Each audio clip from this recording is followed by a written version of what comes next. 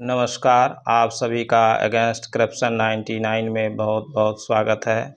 आज हम लोग सूचना के अधिकार अधिनियम 2005 के तहत यदि पुलिस अधीक्षक कार्यालय, एसपी कार्यालय से यदि सौ समय वांछित सूचना प्रदान नहीं की जाती है तो क्या करेंगे? तो चलिए, जो इस चैनल से पहली बार जुड़े हुए हैं, वो अवश्य सब्सक्राइब कर लें तथा बेल आइकन को दबाकर ऑल पर भी क्लिक कर लेंगे।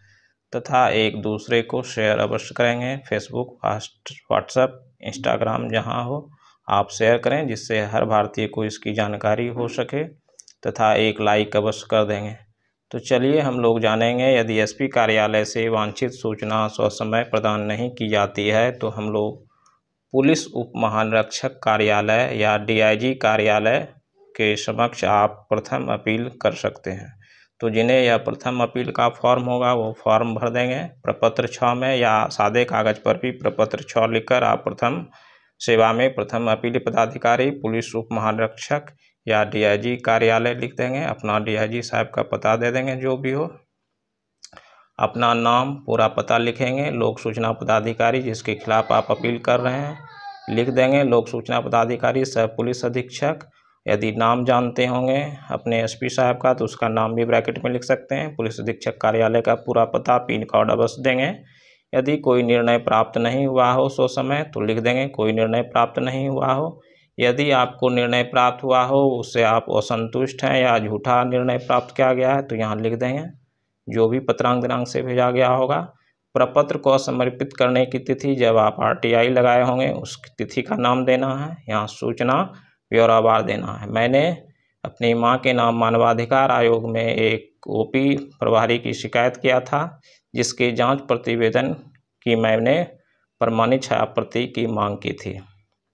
इसी संबंध में मैंने सूचना मांगा था, लेकिन एसपी साहब कार्यालय द्वारा सो समय सूचना प्रदान नहीं की गई थी, जिसमें प्रथम अपील किया गया था। आप लोग भी इस तरह प्रथम अपील अवश्य कर देंगे, तथा प्रपत्र को में आवेदन समर्पित करने के बाद तीस दिन पूरा होने की तिथि। यदि बीस दो को आप किए हैं तो बीस तीन को एक माह होता है तो आप बीस तीन दे देंगे। तीस दिन जोड़ के अपना डेट बैठा देंगे। अपील करने का कारण, कोई निर्णय प्राप्त नहीं हुआ है तीस दिन के अंदर, यह कारण दे सकते हैं। या निर्णय प्राप्त हुआ हो तो उसका दिनांक पत्रांक दे के यहाँ आप इसमें सूचित कर सकते हैं। मुझे कोई निर्णय प्राप्त नहीं हुआ था, इसलिए यहाँ कोई निर्णय सूचना उपलब्ध नहीं कराई गई है का मैंने वर्णन किया है। अपील का आधार तो अपील का आधार सौ समय वांछित सूचना उपलब्ध नहीं कराई गई।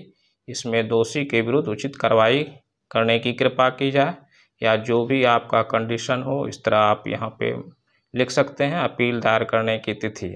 साठ दिन के अंदर आपको प्रथम अपील दायर करना पड़ता है, इसलिए यहाँ बीस चार दो हज़ार इक्कीस मैंने दिया है।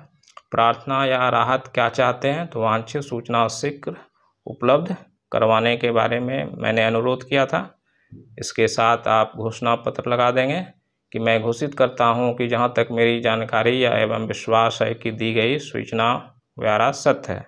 अपना हस्ताक्षर, पूरा पता, मोबाइल नंबर दे देंगे। प्रपत्र को जो आप भेजे होंगे, उसकी रसीद, डाक रसीद एवं शुल्क पोस्टल ऑर्डर या जिस भी तरह आप शुल्क दिए होंगे, उसकी छायाप्रति लगाकर एटेस्टेड करके सबको आप डीआईजी कार्यालय से अवश्य प्रथम अपील कर सूचना प्राप्त कर सकते हैं। जय हिंद।